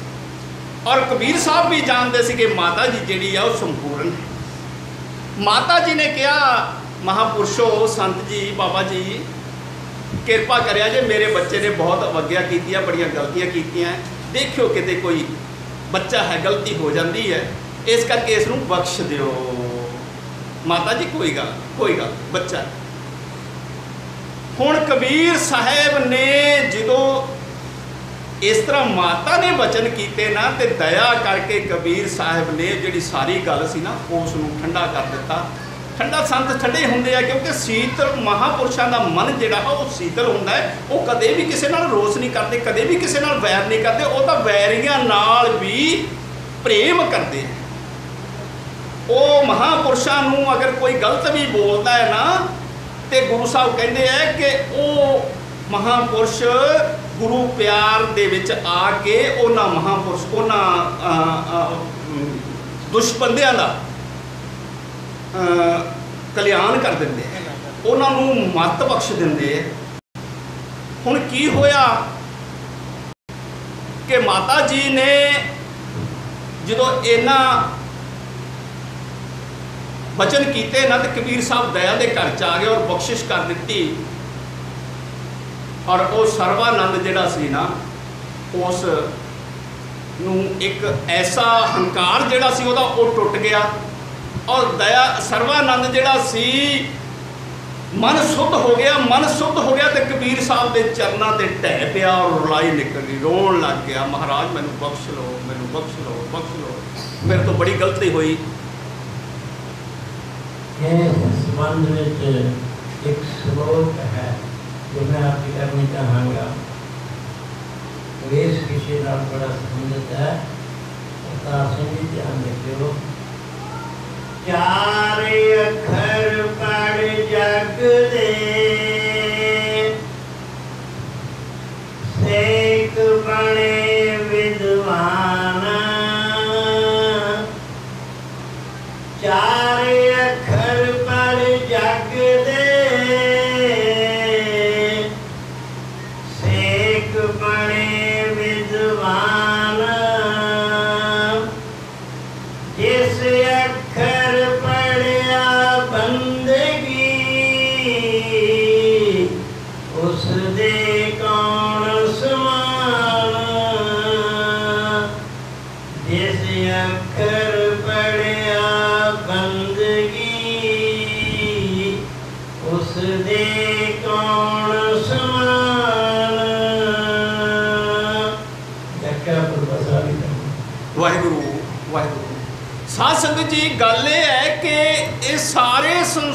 ਦੇ ਗ੍ਰੰਥ, ਵਿਦਵਾਨਾਂ ਦੀਆਂ ਵਿਚਾਰਾਂ ਇੱਕ ਪਾਸੇ। ਗੁਰੂ ਗ੍ਰੰਥ ਸਾਹਿਬ ਜੀ ਸਾਨੂੰ ਬਖਸ਼ਿਸ਼ ਕਰਦੇ ਆ, ਏਕ ਸ਼ਬਦ ਮੇਰੇ ਪ੍ਰਾਣ ਵਸਤ ਹੈ, ਬਹੁਰ ਨਾ ਜੋਨੇ ਆਮ ਇਹ ਇੱਕ ਸ਼ਬਦ ਜਿਹੜਾ ਹੈ ਨਾ ਇੱਕ ਸ਼ਬਦਿੰਗ ਸੂਰ ਸ਼ਬਦਿੰਗ ਇੱਕ ਇਹ ਇੱਕ ਸ਼ਬਦ ਜਿਹੜਾ ਹੈ ਨਾ, ਇਹ ਸੂਰਜ ਰੂਪ ਹੈ। ਕੀ ਹੈ? ਉਹ ਸਾਨੂੰ ਗੁਰੂ ਸਾਹਿਬ ਦੇ ਵਿੱਚ, ਗੁਰੂ ਗ੍ਰੰਥ ਸਾਹਿਬ ਦੇ ਵਿੱਚ ਸਾਹਿਬ ਸ੍ਰੀ ਗੁਰੂ ਨਾਨਕ ਦੇਵ ਜੀ ਨੇ ਪ੍ਰਮਾਤਮਾ ਦੀ ਆਗਿਆ ਨਾਲ ਬਖਸ਼ਿਸ਼ ਕੀਤੀ ਹੋਈ ਹੈ। ਇੱਕ ਓੰਕਾਰ। ਜਿਸ ਨੂੰ ਪੰਜ ਪਿਆਰਿਆਂ ਨੇ ਸਾਨੂੰ ਸਿਮਰਨ ਕਰਨ ਵਾਸਤੇ ਉਸੇ ਦਾ ਹੀ ਬੀਜ ਮੰਤਰ ਦੇ ਕੇ ਨਾਮ ਦੇ ਦਿੱਤਾ ਹੈ। ਵਾਹਿਗੁਰੂ। ਜਿਸ ਨੂੰ ਸਹਿਬ ਸ੍ਰੀ ਗੁਰੂ ਨਾਨਕ ਦੇਵ ਜੀ ਨੇ ਉਸੇ ਦੀ ਵਿਆਖਿਆ ਕਰਕੇ ਇੱਕ ਓੰਕਾਰ ਸਤਨਾਮ ਕਰਤਾ ਪੁਰਖ ਨਿਰਭਉ ਨਿਰਵੈਰ ਅਕਾਲ ਮੂਰਤ ਅਜੂਨੀ ਸੈਭੰ ਗੁਰ ਪ੍ਰਸਾਦ ਇਹ ਗੁਰ ਦੁਆਰਾ ਪ੍ਰਾਪਤ ਹੁੰਦਾ ਹੈ, ਪ੍ਰਮਾਤਮਾ ਦੁਆਰਾ। ਕਿਸੇ ਬੰਦੇ ਦੁਆਰਾ ਨਹੀਂ ਹੋਏਗਾ ਗੁਰੂ ਦੀ ਕਿਰਪਾ ਦੁਆਰਾ ਹੋਏਗਾ। ਤੇ ਸੰਤਾਂ ਮਹਾਪੁਰਸ਼ਾਂ ਦੀ ਬਖਸ਼ਿਸ਼ ਨਾਲ ਗੁਰੂ ਦਾ ਮਿਲਨ ਹੋਏਗਾ, ਗੁਰੂ ਦੀ ਕਿਰਪਾ ਨਾਲ ਇਹ ਸ਼ਬਦ ਪ੍ਰਾਪਤ ਹੋਏਗਾ ਔਰ ਇਸ ਸ਼ਬਦ ਦੇ ਨਾਲ ਪਰਮਾਤਮਾ ਦੀ ਪ੍ਰਾਪਤੀ ਹੋਏਗੀ ਤੋ ਸਾਧ ਸੰਗਤ ਜੀ, ਇਸ ਤਰ੍ਹਾਂ ਨਾਲ ਜਦੋਂ ਸਰਵਾਨੰਦ ਦਾ ਹੰਕਾਰ ਟੁੱਟਿਆ, ਕਬੀਰ ਸਾਹਿਬ ਦੇ ਚਰਨਾਂ ਤੇ ਟਹਿ ਪਿਆ, ਰੋਣ ਲੱਗ ਗਿਆ, ਬਖਸ਼ ਲੋ ਮਹਾਰਾਜ, ਬਖਸ਼ ਲੋ ਮੈਂ ਕੁਛ ਨਹੀਂ ਆ, ਮੈਂ ਔਗਣ ਹਰਾ ਹਾਂ ਮੈਂ ਮੰਦਾ ਹਾਂ, ਚੰਗਾ ਹਾਂ, ਮੈਨੂੰ ਨਹੀਂ ਪਤਾ ਸੀ ਇਸ ਗੱਲ ਦਾ। ਕਿ ਪ੍ਰਮਾਤਮਾ ਦੇ ਪਿਆਰੇ ਜਿਹੜੇ ਐ, ਉਹ ਪ੍ਰਮਾਤਮਾ ਨਾਲ ਜੁੜੇ ਹੁੰਦੇ ਆ। ਮੈਂ ਤਾਂ ਇਹ ਸਮਝਦਾ ਸੀ ਕਿ ਮੈਂ ਬਹੁਤ ਅੱਖਰ ਪੜ੍ਹ ਗਿਆ, ਬੜੇ ਗ੍ਰੰਥ ਪੜ੍ਹ ਗਿਆ, ਬੜੇ ਬ੍ਰਾਹਮਣਾਂ ਨੂੰ ਜਿੱਤ ਲਿਆ ਮੈਂ, ਤੇ ਮੈਂ ਤਾਂ ਬਹੁਤ ਵੱਡਾ ਹੋ ਗਿਆ। ਮਹਾਰਾਜ, ਮੈਨੂੰ ਨਹੀਂ ਪਤਾ ਸੀ, ਨਾਨਕ ਨੀਵਾ ਜੋ ਚਲੈ, ਲਗੇ ਨ ਤੱਤੀ ਵਾਓ। ਤੇ ਗੁਰੂ ਸਾਹਿਬ ਬਖਸ਼ਿਸ਼ ਕਰਦੇ ਆ ਕਿ ਜਿੰਨਾ ਗੁਰਮੁਖ ਪਿਆਰਿਆਂ ਨੂੰ ਆਪਣਾ ਪ੍ਰਭ ਚਿੱਤ ਦੇ ਵਿੱਚ ਹੈ, ਚੇਤੇ ਦੇ ਵਿੱਚ ਹੈ ਗੁਰੂ ਸਾਹਿਬ ਕਹਿੰਦੇ ਆ, ਆਪਣਾ ਪ੍ਰਭ ਆਇਆ ਚੀਤ, ਦੁਸ਼ਮਣ ਦੁਸ਼ਟ ਰਹੇ ਝਖ ਮਾਰਤ ਕੁਸਲ ਭਇਆ ਮੇਰੇ ਭਾਈ ਮੀਤ ਰਹਾਓ ਗਈ ਬਿਆਦ ਉਪਾਦ ਸਭ ਨਾਸੀ, ਅੰਗੀਕਾਰ ਕਿਓ ਕਰਤਾਰ, ਸ਼ਾਂਤ ਸੂਖ ਔਰ ਅਨੰਦ ਕਨੇਰੇ ਪ੍ਰੀਤਮ ਨਾਮ ਹਿਰਦੇ ਉਰਹਾਰ, ਜੀਓ ਪਿੰਡ ਤਨ ਰਾਸ ਪ੍ਰਭ ਤੇਰਾ ਤੂੰ ਸਮਰੱਥ ਸੁਆਮੀ ਨਾ ਕਰੇ ਤੇ ਉਹ ਕਵੇ ਕਿ ਮੈਂ ਕੋਈ ਹੋ ਗਿਆ, ਮੇਰੇ 'ਚ ਕੋਈ ਗੁਣ ਆ ਗਏ। ਗੁਣ ਉਹਦੇ 'ਚ ਕੁਝ ਨਹੀਂ ਆਉਂਦੇ ਉਹ ਹੰਕਾਰ ਹੀ ਹੰਕਾਰ ਦਾ ਭਰਿਆ ਹੁੰਦਾ ਹੈ। ਪਰ ਗੁੱਜੀ ਦੇ ਕੋਲ ਗੁਣ ਆ ਜਾਂਦੇ ਆ, ਉਹ ਨਿਰਮਤਾ ਨੂੰ ਜਾਂਦਾ। ਨਾਨਕ ਨੀਵਾ ਜੋ ਚਲੇ, ਲਗੇ ਨਾ ਤੱਤੀ। ਵਾਓ। ਤੋਂ ਇਸ ਤਰ੍ਹਾਂ ਦੇ ਨਾਲ ਗੁਰੂ ਸਾਹਿਬ ਕਹਿੰਦੇ ਆ, ਭਾਈ, ਜਿਹੜੇ ਗੁਰਮੁਖ ਪਿਆਰੇ ਤਾਂ ਪਰਮਾਤਮਾ ਦੀ ਸ਼ਰਨ ਦੇ ਵਿੱਚ ਰਹਿੰਦੇ ਐ, ਆਪਣਾ ਪ੍ਰਭ ਆਇਆ ਚੀਤ, ਉਹਨਾਂ ਦਾ ਸੰਸਾਰ ਦੇ ਦੁਸ਼ਟ ਲੋਕ ਜਿਹੜੇ ਹੈ ਕੁਝ ਵੀ ਨਹੀਂ ਵਿਗਾੜ ਸਕਦੇ। ਸੰਤ ਪੁਰਸ਼ਾਂ ਨਾਲ ਬਥੇਰੀਆਂ ਰੰਜਿਸ਼ਾਂ ਕਰਦੇ ਆ, ਬਥੇਰੀਆਂ ਵੈਰ ਵਿਰੋਧ ਕਰਦੇ ਆ, ਅੱਜ ਵੀ ਹਾਲਾਤ ਇਸ ਤਰ੍ਹਾਂ ਹੀ ਚੱਲ ਰਿਹਾ। ਸਤਜੁਗ ਤੋਂ ਲੈ ਕੇ ਜਦੋਂ ਤੋਂ ਇਹ ਸੰਸ੍ਰਿਸ਼ਟੀ ਬਣੀ ਹੈ, ਉਦੋਂ ਤੋਂ ਹੀ ਸੱਚ ਔਰ ਝੂਠ ਦਾ ਮੁਕਾਬਲਾ ਹੁੰਦਾ ਰਿਹਾ। ਦਿਨ ਔਰ ਰਾਤ ਰਹਿੰਦੀ ਰਹੀ ਹੈ। ਜਿੱਥੇ ਚਾਨਣ ਰਿਹਾ ਹੈ, ਕਿੱਥੇ ਅੰਧੇਰਾ ਰਿਹਾ ਹੈ, ਅੰਧੇਰੇ ਦਾ ਔਰ ਚਾਨਣ ਦਾ, ਪ੍ਰਕਾਸ਼ ਦਾ, ਪ੍ਰਕਾਸ਼ ਪ੍ਰਮਾਤਮਾ ਦਾ ਨਾਮ ਹੈ, ਅੰਧੇਰਾ ਜਿਹੜਾ ਹੈ, ਮਾਇਆ ਦਾ ਨਾਮ। ਸੰਸਾਰ ਦਾ ਨਾਮ। ਤੋਂ ਇਸ ਤਰ੍ਹਾਂ ਦੇ ਨਾਲ ਸਾਧ ਸੰਗਤ ਜੀ, ਇਹ ਇੱਕ ਅਲਟਾ ਪਲਟੀ ਚੱਲਦੀ ਰਹਿੰਦੀ ਹੈ। ਜਿਹੜੇ ਪ੍ਰਮਾਤਮਾ ਨਾਲ ਪਿਆਰ ਕਰਦੇ ਆ, ਉਹਨਾਂ ਦੇ ਅੰਦਰ ਮਨ ਸ਼ੀਤਲ ਹੋ ਜਾਂਦੇ ਆ। ਸ਼ਾਂਤ ਸੂਖ ਔਰ ਆਨੰਦ, ਘਨੇਰੇ, ਪ੍ਰੀਤਮ, ਨਾਮ, ਹਿਰਦੇ ਔਰ ਹਾਰ ਹਿਰਦੇ ਦੇ ਵਿੱਚ ਪ੍ਰੀਤਮ ਦੇ ਨਾਮ ਦਾ ਹਾਰ ਜਦੋਂ ਉਹਨਾਂ ਦੇ ਇਹ ਵੀ ਮੈਂ ਦੱਸਦਿਆਂ ਕਿ ਇਹ ਸਾਡੇ ਜਦੋਂ ਅਸੀਂ ਨਾਮ ਸਿਮਰਨ ਕਰਦੇ ਆ ਨਾ, ਸ਼ਾਇਦ ਕਦੇ ਅੱਗੇ ਮੈਂ ਗੱਲ ਕੀਤੀ ਕਿ ਅਸੀਂ ਜਦੋਂ ਨਾਮ ਕਰਦੇ ਆ ਨਾ, ਕਈ ਲੋਕ ਤਾਂ ਕਰਦੇ ਆ, ਵਾਹਿਗੁਰੂ ਵਾਹਿਗੁਰੂ, ਬਾਹਰ ਨੂੰ ਕੱਢਦੇ। ਨਹੀਂ। ਅਸੀਂ ਵਾਹ। ਗੁਰੂ ਵਾਹ ਵਾਹ ਇੱਥੋਂ ਤੇ ਕਰਾ ਜਾਊਗਾ ਇੱਥੇ। ਗੁਰੂ ਇੱਥੋਂ ਬਾਹਰ ਕੱਢਣਾ। ਇਹ ਆਏ ਪਲਟਾ ਬਣਨਾ ਵਾਹ ਗੁਰੂ ਵਾਹ ਗੁਰੂ ਵਾਹ ਗੁਰੂ ਇਸ ਤਰ੍ਹਾਂ ਦਾ ਹਾਰ ਜਦੋਂ ਸਾਡੇ ਅੰਦਰ ਹਿਰਦੇ ਦੇ ਵਿੱਚ ਬਣ ਜਾਏਗਾ ਨਾ, ਪ੍ਰੀਤਮ ਨਾਮ ਹਿਰਦੇ ਔਰ ਹਾਰ। ਜਦੋਂ ਇਸ ਤਰ੍ਹਾਂ ਦੀ ਅਵਸਥਾ ਬਣ ਜਾਏਗੀ, ਉਦੋਂ ਸਮਝੋ ਕਿ ਗੁਰੂ ਦਾ ਮ- ਗੁਰੂ ਦੀ ਕਿਰਪਾ ਨਾਲ ਗੁਰਮੁਖ ਦਾ ਮਨ ਜਿਹੜਾ ਹੈ, ਉਹ ਸੀਤਲ ਹੈ, ਸ਼ਾਂਤ ਹੈ ਉਸ ਨੂੰ ਸੁੱਖਾਂ ਦੀ ਪ੍ਰਾਪਤੀ ਆ, ਉਹਨੂੰ ਕੋਈ ਕਸ਼ਟ ਨਹੀਂ ਲੱਗੇਗਾ। ਉਹਦੇ ਦੁਸ਼ਮਣ ਦੁਸ਼ਟ ਜਿਹੜੇ ਆ, ਭਾਵੇਂ ਕੁਝ ਵੀ ਕਰਦੇ ਰਹਿਣ, ਉਹਦਾ ਕੁਝ ਨਹੀਂ ਵਿਗਾੜ ਸਕਦੇ। ਦੁਸ਼ਮਣ ਦੁਸ਼ਟ ਰਹੇ ਚੱਕ ਮਾਰਤ, ਕੁਸ਼ਲ ਭਇਆ ਮੇਰੇ ਭਾਈ ਮੀਤ। ਇਸ ਤਰ੍ਹਾਂ ਦੇ ਨਾਲ ਭਾਈ ਸਰਬਾਨੰਦ ਦਾ ਜਿਹੜਾ ਦੁਸ਼ਟਤਾਈ ਸੀ, ਉਹ ਖਤਮ ਹੋ ਗਈ ਔਰ ਕਬੀਰ ਸਾਹਿਬ ਦੀ ਜਿਹੜੀ ਪ੍ਰਮਾਤਮਾ ਨੇ ਨਾਮ ਸਿਮਰਨ ਦੀ ਜਿਹੜੀ ਬਖਸ਼ਿਸ਼ ਸੀ, ਉਸ ਦੀ ਲਾਜ ਰੱਖ ਕੇ ਕਬੀਰ ਸਾਹਿਬ ਦਾ ਮਾਨ ਵਧਾਇਆ। ਸੰਸਾਰ ਦੇ ਵਿੱਚ ਜਦ ਲੋਕਾਂ ਨੂੰ ਇਸ ਗੱਲ ਦਾ ਪਤਾ ਲੱਗਿਆ, ਤਾਂ ਸਾਧ ਸੰਗਤ ਜੀ, ਕਬੀਰ ਸਾਹਿਬ ਨੇ ਸੰਤਾਂ ਪੁਰਸ਼ਾਂ ਨੇ ਕਦੇ ਆਪਣਾ ਨਹੀਂ ਜਿਤਾਇਆ, ਪਰ ਸੰਸਾਰ ਦੇ ਲੋਕ ਜਿਤਾਉਣਾ ਸ਼ੁਰੂ ਕਰ ਦਿੰਦੇ ਆ। ਕਬੀਰ ਸਾਹਿਬ ਨੂੰ ਰੌਲਾ ਪਾਤਾ, ਭਇਆ ਕਬੀਰ ਕਬੀਰ। ਕਬੀਰ ਸਾਹਿਬ ਕਹਿੰਦਾ ਵੀ ਮੈਂ ਤਾਂ ਕੁਝ ਨਹੀਂ ਕੀਤਾ। ਇਸ ਕਰਕੇ ਇਹ ਸ਼ਲੋਕ ਲਿਖਿਆ, ਕਬੀਰ, ਹਮ ਨਾ ਕੀਆ, ਨਾ ਕरेंगे ਨਾ ਕਰ ਸਕੈ ਸਰੀਰ। ਕਿਆ ਜਾਣੈ ਕਿਛ ਪ੍ਰਭ ਕੀਆ। ਭਇਓ ਕਬੀਰ ਕਬੀਰ। ਭਾਈ ਅਸੀਂ ਤਾਂ ਕੁਝ ਵੀ ਨਹੀਂ ਕੀਤਾਗਾ, ਜੋ ਕੁਝ ਕੀਤਾ, ਪਰਮਾਤਮਾ ਨੇ ਕੀਤਾ। ਸਰਵਾਨੰਦ ਨੇ ਦੇਖੋ ਹੁਣ, ਸਰਵਾਨੰਦ ਨੇ ਆਪ ਹੀ ਲਿਖਿਆ ਹੱਥਾਂ ਨਾਲ। ਕਬੀਰ ਸਾਹਿਬ ਨੇ ਤਾਂ ਗੂਠਾ ਹੀ ਲਾਇਆ ਸੀ, ਕਹਿੰਦੇ ਅਸੀਂ ਤਾਂ ਕੁਝ ਨਹੀਂ ਕਰਿਆ ਭਾਈ। ਜੋ ਕੁਝ ਅੱਖਰ ਪਲਟੇ ਪਰਮਾਤਮਾ ਨੇ ਪਲਟ ਦਿੱਤੇ। ਜੇ ਕਾਗਜ਼ ਦੇ ਪਲਟ ਦਿੰਦਾ ਹੈ ਪਰਮਾਤਮਾ ਅੱਖਰ, ਤੇ ਜਦੋਂ ਅਸੀਂ ਨਾਮ ਸਿਮਰਨ ਕਰਦੇ ਆ ਨਾ, ਉਸ ਪਰਮਾਤਮਾ ਦੀ ਸ਼ਰਨ ਦੇ ਵਿੱਚ ਹੋ ਜਾਂਦੇ ਆ ਅਸੀਂ ਉਸ ਪਰਮਾਤਮਾ ਨਾਲ ਪਿਆਰ ਕਰਦੇ ਆ ਅਸੀਂ ਉਸ ਪਰਮਾਤਮਾ ਦੀ ਆਗਿਆ ਨੂੰ ਸੱਤ ਕਰਕੇ ਮੰਨ ਲੈਂਦੇ ਆ ਗੁਰਬਾਣੀ ਦੀ ਜਾਂ ਸੰਤਾਂ ਮਹਾਪੁਰਸ਼ਾਂ ਦੇ ਜੋ ਬਚਨ ਹੁੰਦੇ ਆ, ਉਹਨਾਂ ਨੂੰ ਅਸੀਂ ਸੱਤ ਕਰਕੇ ਮੰਨ ਲੈਂਦੇ ਹਾਂ। ਕਿਉਂਕਿ ਅਸੀਂ ਮੂਮਨ ਸੰਤਾਂ ਕੋਲੇ ਆਉਣੇ ਆ ਪਰ ਸੰਤਾਂ ਦੇ ਬਚਨਾਂ ਨੂੰ ਵੀ ਸੱਤ ਨਹੀਂ ਮੰਨਦੇਗੇ ਆਪਣੀ ਹਉਮੈ 'ਚ ਹੀ ਫਿਰਦੇ ਰਹਿ ਜਾਂਦੇ ਆ। ਆਪਣੀ ਮੈਂ ਕਰਦੇ ਰਹਿ ਜਾਂਦੇ ਆ। ਜੇ ਅਸੀਂ ਸੰਤਾਂ ਮਹਾਪੁਰਸ਼ਾਂ ਦੇ ਗੁਰਬਾਣੀ ਦੇ ਬਚਨਾਂ ਨੂੰ ਸੱਤ ਮੰਨ ਲਈਏ, ਸੱਤ ਮੰਨ ਕੇ ਤੇ ਪਰਮਾਤਮਾ ਨੂੰ ਸਮਰਪਿਤ ਹੋ ਜਾਈਏ, ਪਰਮਾਤਮਾ ਦਾ ਨਾਮ ਸਿਮਰਨ ਕਰੀਏ ਨਾ, ਤੋ ਸਾਧ ਸੰਗਤ ਜੀ ਫਿਰ ਕੀ ਹੁੰਦਾ ਹੈ ਕਿ ਇਸ ਤਰ੍ਹਾਂ ਦੇ ਨਾਲ ਪਰਮਾਤਮਾ ਦੀ ਕਿਰਪਾ ਜਿਹੜੀ ਹੈ ਉਹ ਸਾਨੂੰ ਪ੍ਰਾਪਤ ਹੋ ਜਾਂਦੀ ਹੈ ਤੇ ਫਿਰ ਜਿਹੜੀਆਂ ਖੁਸ਼ੀਆਂ, ਸ਼ਾਂਤੀ, ਸੁੱਖ, ਇਹ ਸਾਰੇ ਜਿਹੜੇ ਹੈ ਨਾ, ਗੁਰੂ ਦੀ ਕਿਰਪਾ ਨਾਲ ਪ੍ਰਾਪਤ ਹੋ ਜਾਂਦੇ ਆ ਤੇ ਗੁਰੂ ਸਾਹਿਬ ਬਖਸ਼ਿਸ਼ ਕਰਦੇ ਆ ਫਿਰ ਸਾਡੇ ਸੰਸਾਰ ਦਾ ਜੀਵਨ ਜਿਹੜਾ ਹੈ, ਉਹ ਸੁੱਖਾਂ ਵਾਲਾ ਬਣ ਜਾਂਦਾ ਹੈ। ਇਹੀ ਕਾਰਨ ਹੈ ਕਿ ਨੌਵੇਂ ਪਾਤਸ਼ਾਹ ਨੇ ਇਹ ਕਿਹਾ ਹੋਇਆ ਹੈ, ਜੋ ਸੁਖ ਕੋ ਚਾਹੈ ਸਦਾ। ਸੁੱਖ ਦੋ ਪ੍ਰਕਾਰ ਦੇ ਹੁੰਦੇ ਆ, ਇਹ ਵੀ ਦੱਸਦੇ ਆ ਭਾਈ ਮੈਂ। ਇੱਕ ਤਾਂ ਸੁੱਖ ਸਾਨੂੰ ਇਹੋ ਜਿਹਾ ਹੁੰਦਾ ਵੀ ਅਸੀਂ ਕੋਈ ਪਦਾਰਥ ਲੈ ਲਿਆ, ਟਰੈਕਟਰ ਲੈ ਲਿਆ, ਬੜੀ ਸੁੱਖ ਹੋ ਗਿਆ। ਜ਼ਮੀਨ ਲੈ ਲਈ, ਬੜਾ ਸੁੱਖ ਹੋ ਗਿਆ। ਪਰ ਇਹ ਸੁੱਖ ਐਸਾ ਇੱਕ ਸ਼ਨਕ ਹੈ ਕੁਝ ਦੇਰ ਵਾਸਤੇ ਹੁੰਦਾ, ਕਈ ਵਾਰੀ ਇਹ ਬਾਅਦ ਚ ਦੁੱਖ ਵੀ ਬਣ ਜਾਂਦਾ ਹੈ। ਇੱਕ ਸੁੱਖ ਹੁੰਦਾ ਹੈ, ਪਰਮਾਤਮਾ ਦੀ ਖੁਸ਼ੀ ਆ ਜਾਣੀ। ਔਰ ਪਰਮਾਤਮਾ ਨੇ ਸਾਨੂੰ ਚੌਗਿਰਦ ਹਮਾਰੇ ਰਾਮ ਕਰ ਕਰਕੇ ਨਾ, ਨਾਮ ਦੀ ਰਾਮ ਕਰ ਕਰਕੇ ਤੇ ਤੱਤੀ ਵਾਹ ਵੀ ਕਿਸੇ ਪਾਸੋਂ ਨਹੀਂ ਲੱਗਣੀ।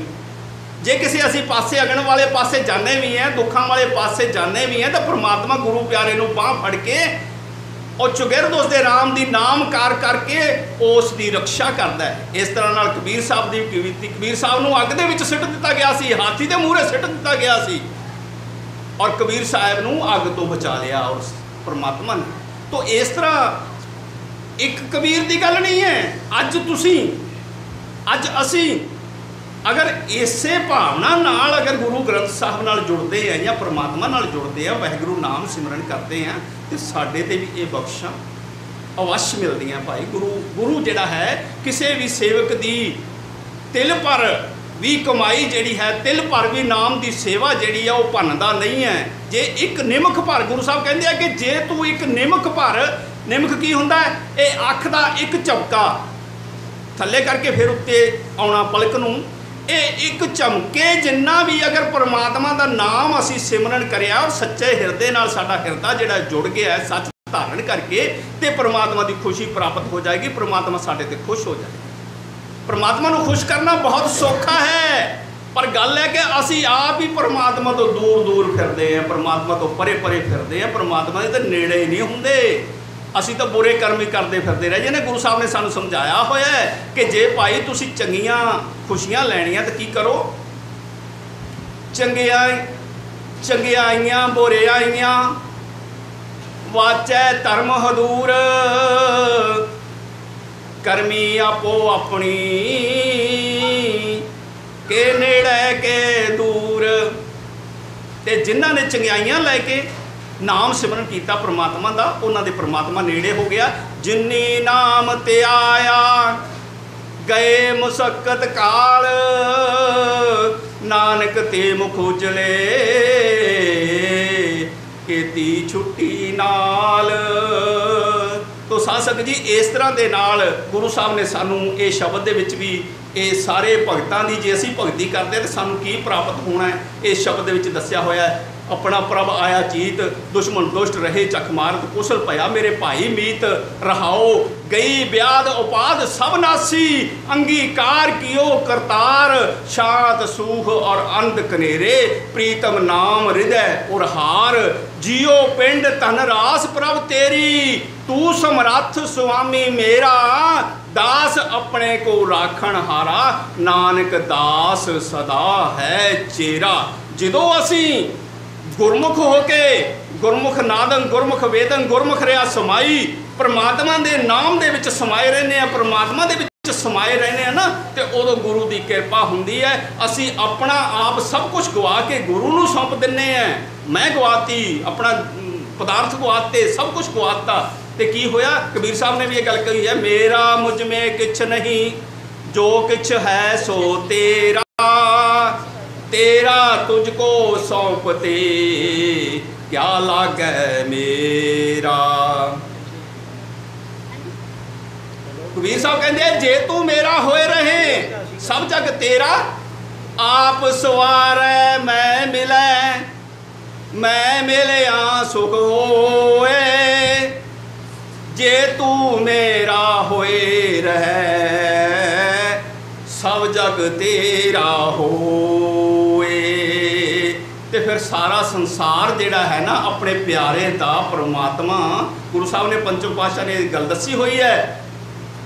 ਤਨ, ਧਨ, ਪਦਾਰਥ ਸਭ ਕੁਝ ਜਦੋਂ ਪਰਮਾਤਮਾ ਨੂੰ ਸੌਂਪ ਦਿੱਤਾ ਔਰ ਆਪਣੇ ਆਪ ਵੀ ਪਰਮਾਤਮਾ ਨੂੰ ਸੌਂਪ ਦਿੱਤਾ ਨਾ, ਤੇ ਉਦੋਂ ਪ੍ਰਮਾਤਮਾ ਸਾਡੇ ਕਾਰਜਾਂ ਵਾਸਤੇ ਆਪ ਆ ਕੇ ਖੜਾ ਹੋ ਜਾਂਦਾ ਹੈ।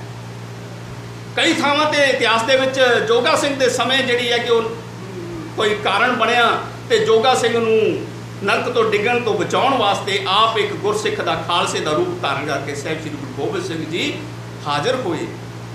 ਕ੍ਰਿਸ਼ਨ ਦੇ ਸਮੇਂ ਦ੍ਰੋਪਦੀ ਦੀ ਰੱਖਿਆ ਕਰਨ ਵਾਸਤੇ ਦ੍ਰੋਪਦੀ ਦੀਆਂ ਖੜਾਵਾਂ ਜਿਹੜੀਆਂ ਹੈ ਪਿਤਾੰਬਰ ਦੇ ਵਿੱਚ ਲਕੋ ਕੇ ਨਾ ਤੇ ਇੱਕ ਪਾਸੇ ਕ੍ਰਿਸ਼ਨ ਜੀ ਖੜੇ ਰਹੇ। ਪਰਮਾਤਮਾ ਇਸ ਤਰ੍ਹਾਂ ਪ੍ਰਗਟ ਹੋ ਜਾਂਦਾ ਹੈ। ਅਨੇਕਾਂ ਥਾਵਾਂ ਤੇ ਵਿਚਾਰ ਆ, ਹੁਣ ਜ਼ਿਆਦਾ ਵਿਚਾਰ ਕਰੀਏ ਤੇ ਲੰਬਾ ਕਰਨਾ ਪੈਂਦਾ ਹੈ। ਤੋ ਪ੍ਰਮਾਤਮਾ ਹਮੇਸ਼ਾ ਅੰਗ ਸੰਗ ਰਹਿੰਦਾ, ਸਾਡੇ ਸਾਡੇ ਸਾਰੇ ਕਾਰ ਸਵਾਦ ਦਾ ਤਾਤੀ ਭਾਵਨਾ ਲੱਗੀ, ਪਾਰ ਬ੍ਰਹਮ ਸ਼ਰਣਾਈ ਚੌਗਿਰਦ ਹਮਾਰੇ ਰਾਮ ਕਰ, ਦੁੱਖ ਲੱਗੇ ਨਾ ਭਾਈ। ਇਸ ਤਰ੍ਹਾਂ ਦੇ ਨਾਲ ਭਾਈ, ਤੁਹਾਨੂੰ ਕਿਸੇ ਪਾਸਿਓਂ ਵੀ ਪਰਮਾਤਮਾ ਜਿਹੜਾ ਹੈ, ਉਹ ਦੁੱਖ ਨਹੀਂ ਲੱਗਣ ਦਿੰਦਾ, ਉਹ ਸੁੱਖ ਹੀ ਸੁੱਖ ਦਿੰਦਾ। ਗੁਰੂ ਸਾਹਿਬ ਬਖਸ਼ਿਸ਼ ਕਰਦੇ ਆ, ਜੋ ਸੁਖ ਕੋ ਚਾਹੈ ਸਦਾ, ਸ਼ਰਨ RAM ਕੀ ਲੇ? ਕਹੋ ਨਾਨਕ ਸੁਨ ਰੇ ਮਨਾ। ਦੁਰਲਭ ਮਾਨਸ ਦੇ।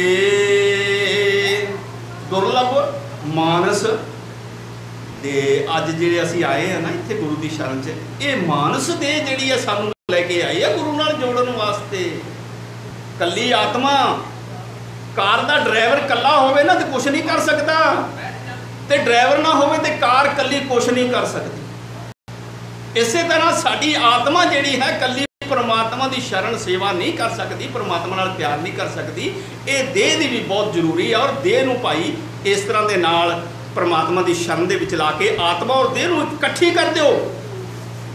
ਅਸੀਂ ਕੀ ਕਰਦੇ ਆ ਦੇਹ ਦਾ ਵਿਖਾਵਾ ਕਰਦੇ ਫਿਰਦੇ ਰਹਿੰਦੇ ਆ ਦੇਹ ਕੋਈ ਲੋਕ ਕਹਿਣਗੇ, ਕੀ ਕਹਿਣਗੇ? ਗੁਰੂ ਸਾਹਿਬ ਕਹਿੰਦੇ ਆ, ਸੰਸਾਰ ਦਾ ਭੈ ਨਾ ਰੱਖੋ। ਕੋਈ ਡਰ ਨਹੀਂ ਹੈ। ਸੰਸਾਰ ਕੁਝ ਵੀ ਕਹਿੰਦਾ ਫਿਰੇ ਤੁਹਾਨੂੰ। ਤੁਸੀਂ ਆਪਣੇ ਆਪ ਨੂੰ ਪਰਮਾਤਮਾ ਨੂੰ ਸੌਂਪ ਦਿਓ।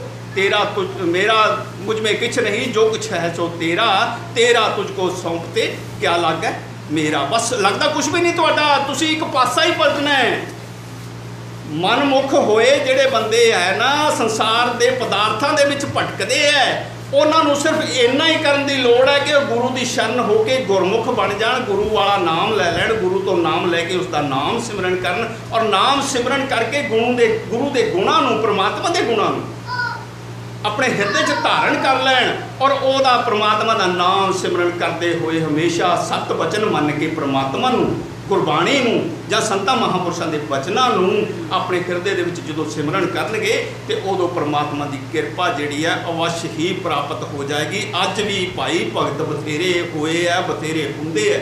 ਬਥੇਰੇ ਮਹਾਪੁਰਸ਼ ਹੋਏ ਆ, ਬਥੇਰੇ ਸੰਤ ਹੋਣਗੇ। ਪਰਮਾਤਮਾ ਹਮੇਸ਼ਾ ਇੱਕ ਪਿਆਰੇ ਦੀ ਇੱਕ ਤਿਲ ਭਨ ਤਿਲ ਭਰ ਜਿਹੜੀ ਕਮਾਈ ਹੈ ਨਾ, ਉਹ ਵੀ ਅਜਾਈ ਨਹੀਂ ਜਾਣ ਦਿੰਦਾ। ਤੋਂ ਇਸ ਕਰਕੇ ਸਾਧ ਸੰਗਤ ਜੀ, ਆਪ ਜੀ ਨੂੰ ਵੀ ਇਹ ਬੇਨਤੀ ਹੈ ਕਿ ਭਾਈ ਗੁਰਮੁਖ ਪਿਆਰਿਓ, ਅਸੀਂ ਗੁਰੂ ਸਾਹਿਬ ਦੀ ਸ਼ਰਨ ਆਉਣਾ ਸਿੱਖ ਜਾਈਏ। ਬਹੁਤ ਲੋਕ ਤਾਂ ਹਲੇ ਗੁਰੂ ਸਾਹਿਬ ਦੀ ਸ਼ਰਨ ਆ ਕੇ ਬੈਠਣਾ ਹੀ ਨਹੀਂ ਜਾਣਦੇ। ਫਿਰ ਗੁਰੂ ਦੀ ਬਾਣੀ ਨੂੰ ਸੁਣਨਾ ਸਿੱਖ ਜਾਈਏ। ਗੁਰੂ ਦੀ ਬਾਣੀ ਨੂੰ ਅਸੀਂ ਇਹ ਆਪਣੇ ਹਿਰਦੇ ਦੇ ਵਿੱਚ ਵਸਾਣਾ ਸਿੱਖ ਜਾਈਏ। ਤੇ ਗੁਰੂ ਦੀ ਬਾਣੀ ਨੂੰ ਦ੍ਰਿੜ ਨਿਸ਼ਚਾ ਕਰਕੇ ਉਸ ਤੇ ਵਿਸ਼ਵਾਸ, ਭਰੋਸਾ ਕਰਨਾ ਸਿੱਖ ਜਾਈਏ, ਇੰਨੀਆਂ ਗੱਲਾਂ ਸਿੱਖ ਜਾਈਏ ਨਾ ਤੇ ਫਿਰ ਅਸੀਂ ਸਿੱਖ ਹਾਂ ਭਾਈ। ਸਿੱਖ ਲਓ, ਗੁਰਸਿੱਖੋ, ਜੇ ਤੁਸੀਂ ਗੁਰੂ ਦੇ ਸਿੱਖ ਹੋਵਾਉਂਦੇ ਹੋ, ਤੇ ਗੁਰਬਾਣੀ ਦੀ ਸ਼ਰਨ ਚ ਆ ਕੇ ਗੁਰਬਾਣੀ ਦੀ ਮੱਤ ਨੂੰ ਸਿੱਖਿਆ ਕਰੋ। ਸਿੱਖੋ ਸ਼ਬਦ ਪਿਆਰਿਓ, ਗੁਰੂ ਸਾਹਿਬ ਬਖਸ਼ਿਸ਼ ਕਰਦੇ ਜਨਮ, ਮਰਨ ਕੀ? ਤੇਗ, ਮੁਖ ਉਜਲ, ਸਦਾ ਸੁਖੀ ਨਾਨਕ ਸਿਮਰਤ, ਏਕ ਇੱਕ ਪਰਮ ਪਿਤਾ ਪਰਮਾਤਮਾ ਦੇ ਇੱਕ ਸ਼ਬਦ ਨੇ, ਇੱਕ ਸ਼ਬਦ ਮੇਰੇ ਪ੍ਰਾਣ ਵਸਦਾ ਹੈ। ਜਦੋਂ ਸਾਡੇ ਪ੍ਰਾਣਾਂ ਦੇ ਵਿੱਚ ਵਸ ਗਿਆ, ਇੱਕ ਓੰਕਾਰ, ਜਾਂ ਉਸ ਨੂੰ ਗੁਰੂ ਸਾਹਿਬ ਨੇ ਸਾਨੂੰ ਪੰਜ ਪਿਆਰਿਆਂ ਨੇ ਜਦੋਂ ਅਸੀਂ ਅੰਮ੍ਰਿਤ ਛਕਿਆ, ਗੁਰੂ ਦੀਕਸ਼ਾ ਲਈ ਹੈ ਉਦੋਂ ਉਹਨਾਂ ਨੇ ਵਾਹਿਗੁਰੂ ਨਾਮ ਵੀ ਦਿੱਤਾ ਹੈ। ਔਰ ਵੈਸੇ ਦੇਖਿਆ ਜਾਵੇ ਤੇ ਮੂਲ ਮੰਤਰ ਗੁਰ ਮੰਤਰ ਤੋਂ ਇਲਾਵਾ ਸਾਰੀ ਦੀ ਸਾਰੀ ਗੁਰਬਾਣੀ ਹੀ ਪਰਮਾਤਮਾ ਦਾ ਨਾਮ ਹੈ। ਏਕ ਸ਼ਬਦ ਹੈ ਏਕ ਹੀ ਸ਼ਬਦ ਹੈ ਇਹ 1430 ਅੰਗ। ਤੇ ਜਦੋਂ ਅਸੀਂ ਇਸ ਨੂੰ ਹਿਰਦੇ 'ਚ ਵਸਾ ਲਈਏ ਨਾ, ਸਤ ਬਚਨ ਕਰਕੇ ਤੇ ਭਾਈ ਪਰਮਾਤਮਾ, ਪ੍ਰਮਾਤਮਾ ਤਾਂ ਤੁਹਾਡੇ ਪਿੱਛੇ ਪਿੱਛੇ ਭੱਜਿਆ ਕਰੇਗਾ ਕਬੀਰ ਸਾਹਿਬ ਨੇ ਸ਼ਰਿਆਵਾਂ ਗੱਲ ਕੀਤੀ ਹੋਈ ਹੈ। ਕਬੀਰ, ਮਨ ਨਿਰਮਲ ਭਇਆ। ਜੈਸੇ ਗੰਗਾ ਨੀਰ, ਪਾਛੈ ਲਾਗੋ ਹਰ ਫਿਰੈ। ਕਹਿਤ ਕਬੀਰ ਕਬੀਰ। ਭਾਈ ਕਬੀਰ ਸਾਹਿਬ ਦੀ ਬਾਣੀ ਗੁਰਬਾਣੀ ਕੋਈ ਵੀ ਸਹਿਬ ਸ੍ਰੀ ਗੁਰੂ ਗ੍ਰੰਥ ਸਾਹਿਬ ਦੀ ਗੁਰਬਾਣੀ ਸਾਨੂੰ ਪਰਮਾਤਮਾ ਨਾਲ ਇਕਮਿਕ ਹੋਣ ਦਾ ਰਸਤਾ ਦੱਸਦੀ ਹੈ। ਪਰ ਅਸੀਂ ਸੁਣ ਹੀ ਨਹੀਂ ਰਹੇ। ਅਸੀਂ ਪੜਨ ਤੇ ਜ਼ੋਰ ਦਿੱਤਾ ਹੋਇਆ ਹੈ। ਅਸੀਂ ਪੜ੍ਹਦੇ ਨੇ। ਪੜ੍ਹ ਕੇ ਇਧਰੋਂ ਇਧਰੋਂ ਪੜੀ ਮੂੰਹ ਚੋਂ ਬੋਲੀ, ਕੰਨ 'ਚ ਨਹੀਂ ਪਾਈ ਅਸੀਂ। ਸੁਣਦੇ ਨਹੀਂ ਆ। ਗੁਰੂ ਸਾਹਿਬ ਕਹਿੰਦੇ ਆ ਸੁਣਦੇ ਪੁਨੀਤ ਕਹਤੇ ਪਵਿੱਤ। ਸਤਿਗੁਰ ਰਿਆ ਭਰਪੂਰੇ। ਜਿਹੜੇ ਸੁਣ ਲੈਂਦੇ ਆ, ਉਹਨਾਂ ਦੇ ਹਿਰਦੇ 'ਚ ਵੀ ਭਰਪੂਰ ਰੂਪ ਦੇ ਵਿੱਚ ਸਤਿਗੁਰੂ ਬਿਰਾਜਮਾਨ ਹੋ ਜਾਂਦਾ। ਭਾਵ ਪਰਮਾਤਮਾ ਪ੍ਰਗਟ ਹੋ ਜਾਂਦਾ। ਤੋਂ ਸਾਧ ਸੰਗਤ ਜੀ, ਇੰਨੀਆਂ ਵਿਚਾਰਾਂ ਵਿਚਾਰਾਂ ਤਾਂ ਜਿੰਨੀਆਂ ਗੁਰੂ ਦੀ ਕਿਰਪਾ ਨਾਲ ਗੁਰੂ ਬਖਸ਼ਿਸ਼ ਕਰੀ ਜਾਂਦਾ ਬੋਲੀ ਜਾਵਾਂਗੇ ਅਸੀਂ, ਪਰ ਸਮਾਂ ਹੋ ਚੁੱਕਿਆ ਹੈ। ਸਮੇਂ ਤੋਂ ਮੈਂ ਸਮਾਂ ਚਾਹੁੰਦਾ ਹਾਂ। ਇਸ ਕਰਕੇ ਸਾਧ ਸੰਗਤ ਜੀ, ਬਸ ਆਪ ਜੀ ਨੂੰ ਇੱਕ ਹੀ ਬੇਨਤੀ ਹੈ ਕਿ ਸਹਿਬ ਸ੍ਰੀ ਗੁਰੂ ਗ੍ਰੰਥ ਸਾਹਿਬ ਦੇ ਜਦੋਂ ਵੀ ਨੇੜੇ ਆਓ, ਜਦੋਂ ਵੀ ਸ਼ਰਨ ਦੇ ਵਿੱਚ ਆਓ, ਗੁਰੂ ਨਾਲ ਪਿਆਰ ਕਰਿਆ ਕਰੋ, ਗੁਰੂ ਦੀ ਬਾਣੀ ਨੂੰ ਸਤ ਕਰਕੇ ਮੰਨ ਲਿਆ ਕਰੋ, ਸੁਰਤੀ ਨੂੰ ਜੋੜ ਕੇ ਸੁਣਿਆ ਕਰੋ, ਇਹ ਸੰਸਾਰ ਦੀਆਂ ਗੱਲਾਂ ਤਾਂ ਅਸੀਂ ਰੋਜ਼ ਹੀ ਕਰਦੇ ਰਹਿੰਦੇ ਆ ਗੁਰੂ ਦੇ ਦਰ ਤੇ ਆ ਕੇ ਨਾ ਕਰਿਆ ਕਰੋ। ਮੈਂ ਪਰਸੋਂ ਸਿੰਘ ਸਭਾ ਗੁਰਦੁਆਰੇ ਵੀ ਇਹੀ ਗੱਲ ਕਹੀ, ਭਾਈ, ਇੰਨਾ ਰੌਲਾ ਪਈ ਜਾਂਦਾ, ਤੁਸੀਂ ਗੁਰੂ ਦੀ ਮੱਤ ਨੂੰ ਨਹੀਂ ਸੁਣ ਰਹੇ। ਇਹ ਤੁਹਾਡੀਆਂ ਗੱਲਾਂ ਤਾਂ ਘਰਾਂ 'ਚ ਹੀ ਕਰ ਲੈਂਦੇ ਕਰਕੇ। ਕੀ ਲੋੜ ਸੀ ਇੱਥੇ ਆਉਣ ਦੀ? ਗੁਰੂ ਦੀ ਸ਼ਰਨ ਦੇ ਵਿੱਚ ਆਓ ਤੇ ਚੁੱਪ ਕਰਕੇ ਸੁਰਤੀ ਜੋੜ ਕੇ ਗੁਰਬਾਣੀ ਦੇ ਵਚਨਾਂ ਨੂੰ ਸਰਵਣ ਕਰੋ। ਗੁਰਬਾਣੀ ਤੁਹਾਨੂੰ ਇੱਕ ਰਸਤਾ ਦੇ ਦੇਗੀ। ਤੁਹਾਨੂੰ ਪ੍ਰਮਾਤਮਾ ਨਾਲ ਤੁਸੀਂ ਕਹਿੰਦੇ ਹੋ, ਪ੍ਰਮਾਤਮਾ ਦਿਸਦਾ ਨਹੀਂ। ਤੇ ਤੁਸੀਂ ਲੋਕਾਂ ਨੂੰ ਰੌਲਾ ਪਾਓਗੇ, ਉਹ ਪ੍ਰਮਾਤਮਾ ਹੈ। ਉਹ ਆਓ ਲੋਕੋ, ਪ੍ਰਮਾਤਮਾ ਹੈ, ਅਸੀਂ ਦਿਖਾਉਣੇ ਆ। ਤੁਸੀਂ ਇਹ ਕਹੋਗੇ। ਤੁਹਾਨੂੰ ਬਖਸ਼ਾਂ ਪ੍ਰਾਪਤ ਹੋਣਗੀਆਂ ਭਾਈ ਗੁਰੂ ਦੀਆਂ। ਇੰਨੀਆਂ ਵਿਚਾਰਾਂ ਕਰਦੇ ਹੋਇਆ ਦਾਸ ਸ਼ਮਾ ਦਾ ਜਾਚਕ ਹੈ ਔਰ ਸਾਹਿਬ ਸ੍ਰੀ ਗੁਰੂ ਗ੍ਰੰਥ ਸਾਹਿਬ ਜੀ ਨੂੰ, ਸਾਧ ਸੰਗਤ ਜੀ ਨੂੰ ਬੇਨਤੀ ਕਰਦਾ ਹੈ ਸੱਚੇ ਪਾਤਸ਼ਾਹ, ਦਾਸ ਤੇ ਕਿਰਪਾ ਕਰਨੀ, ਜੋ ਤੂੰ ਬਖਸ਼ਿਆ ਸੱਚੇ ਪਾਤਸ਼ਾਹ, ਪਰਮਹੰਸ ਵਿਵੇਕ ਬੁੱਧ ਬਖਸ਼ ਕੇ ਪਰਮ ਪਦ ਜੀਵਤ ਪਦਵੀ ਦੀ ਬਖਸ਼ਿਸ਼ ਕਰਨੀ ਔਰ ਸੇਵਕ ਨੂੰ ਆਪਣੇ ਚਰਨਾਂ ਦੇ ਵਿੱਚ ਜੋੜੀ ਰੱਖਣਾ, ਸੱਚੇ ਪਾਤਸ਼ਾਹ ਆਪਣੇ ਅੰਦਰ ਸੁਧਾਰੇ ਬਖਸ਼ਣਾ। ਇੰਨੀਆਂ ਵਿਚਾਰਾਂ ਕਰਦੇ ਹੋਏ ਸ਼ਮਾ ਦੇ ਜਾਚਕ ਹਾਂ। ਵਾਹਿਗੁਰੂ ਜੀ ਕਾ ਖਾਲਸਾ, ਵਾਹਿਗੁਰੂ ਜੀ ਕੀ ਫਤਿਹ।